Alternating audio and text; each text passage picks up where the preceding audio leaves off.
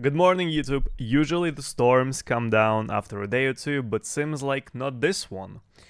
As you know, yesterday BSG released a new um, a new update, a new pack in the game that is called Unheard Edition. I'm not really gonna go talk about it too much in this video, but long story short, everyone is pissed about this edition because first of all, uh, EOD owners that were promised all the DLCs, all the future content for free, do not get the items do not get the things people get with the new edition. Uh, and secondly, this edition in, um, involves um, PvE offline co-op mode with saved progress, uh, which EOD also didn't get. Uh, and this edition is $300 post-tax. And if you have EOD and you want to get this edition, you have to pay around $120 for the upgrade. That's the main reason uh, why people are pissed. So that was a big storm uh, regarding this yesterday. Um, I decided I decided not to buy this edition because it, it just doesn't seem right for me. I don't think that's fair. So I'm still sticking to EOD. Um, I know, I know, I know. Some streamers upgraded, and I don't blame them for it. Like they wanna check it out, they wanna show it to their viewers. Uh, but I feel like this is not the right thing to do, and I didn't upgrade. I will not be buying it.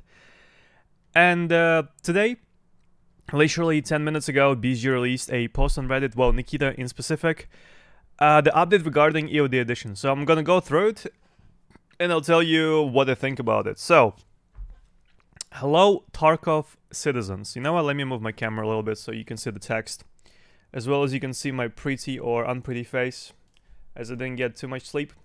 So, hello Tarkov citizens. The to, to honor the owners of the EOD version and their indelible importance and the role in the EFT universe, we plan to add the following new unique features to the EOD edition.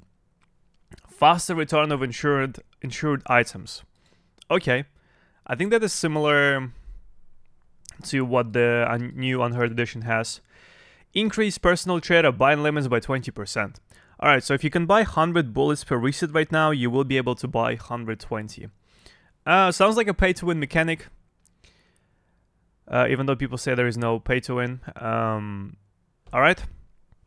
Increased basic PMC karma when it will be implemented. Well, this makes no difference right now. Access to unique hideout craft. We don't know what it is. Increased basic charisma skill. Well, doesn't really make any difference. Special questline with increased pockets side as a reward. This is what I was talking about on stream yesterday. I said that if people can get all the items, all the things that the new edition has via questing, nobody would be as pissed.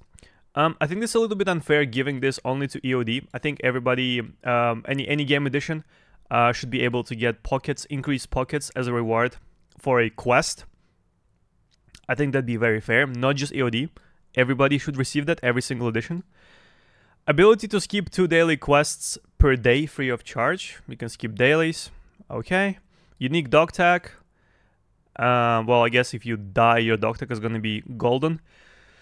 Unique armband, same as the same as the new edition. Unique set of clothing. Well, that's an interesting one because whenever BSG said they're adding new clothing to the website, they added just a recolored old clothing. Like they took literally stock bear clothing.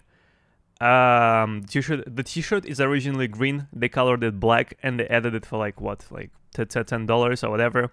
So I don't know about uniqueness of the set of clothing. Hopefully they make something new. I'm all in for skins. I'm all in for new clothing, and I'll talk about this in a second. Unique legacy device. No, no idea what it does. Maybe, um, maybe if your fence wrap is plus six, scavs will stop shooting you from 70 plus meters. But I have no clue. High priority matching for EOD owners for six months. Access to offline PvE for EOD owners for six months. We'll provide those changes as fast as possible. Temporary access to BE, uh, PV will provide soon as well. we'll reinforce server infrastructure because uh, blah blah blah blah. Um, there is very limited amount of servers for now. So this is the problem. We get high priority matching for six months. What happens after? We we have to pay for it as EOD users. Like we have to upgrade to another edition. Same for the PVE offline mode for EOD user for six months.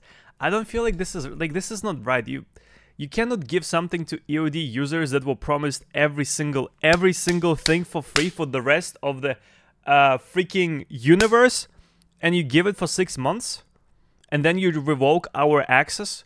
So in other words, if I play for six months in this PVE mode, I'll get my PMC leveled up and everything, and then what? Like my PMC just gets erased, and like I, I don't I don't understand. I don't understand this six months thingy.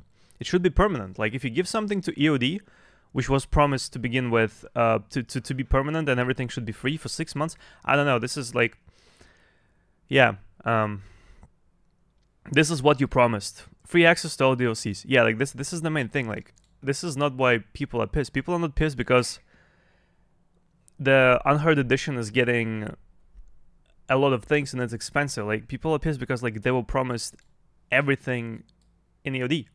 That's the reason why we bought EOD. Because everything was supposed to come free with EOD. All the DLCs, all the new updates, and this is not the case now. So this is what Nikita rolled out.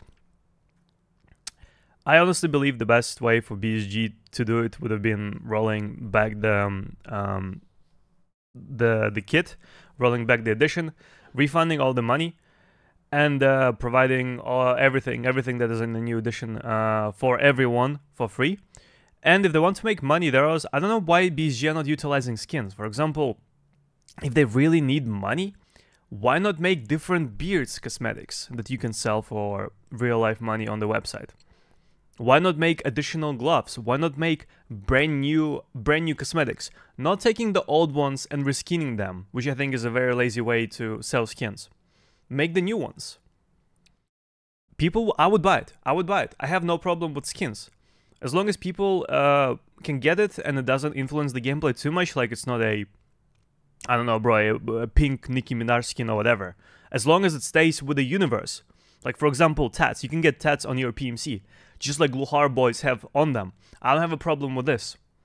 If I can get Sturman jacket in the game via killing Sturman or paying $10 on the website, I don't have a problem with this either. You see where I'm going? So I feel like there is another like there is another good way of um, making money instead of trying to do this. So once again, I don't know. Um, yeah, the this doesn't really make me happy uh, yeah, I don't really know what to say. You you can share your comments down in the description below. But once again, as I said, I don't feel like this is right, giving access for six months and then revoking it. And I'm also I'm also not buying the new edition. I will I will stick to EOD. Uh, not I don't really have much else to say. So thank you so much for watching. Give it a thumbs up, and I'll see you in the next video.